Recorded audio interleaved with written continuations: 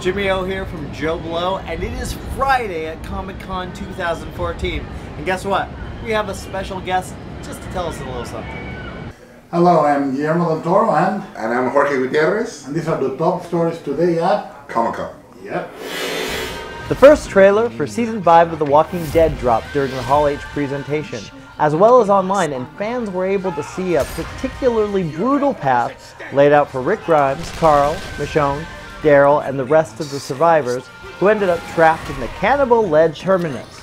Many familiar plot lines emerged in the trailer, and some new surprises popped up as well, with series showrunner Scott Gimple saying season 5 is, quote, without question, the most ambitious and satisfying season this amazing team has ever crafted.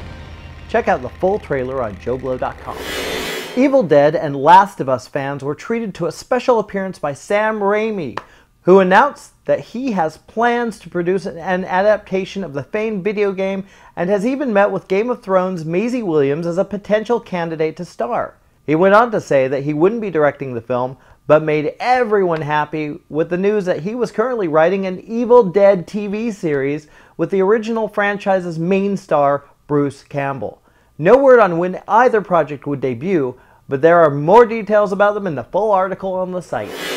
The first teaser trailer for The Hunger Games Mockingjay Part 1 was revealed at a special media event held by Lionsgate and Samsung, which gave the first peek of the popular franchise sequel, revealing where the film picks up after catching fire and playing up the rebellion aspect of the film series heads into much broader territory.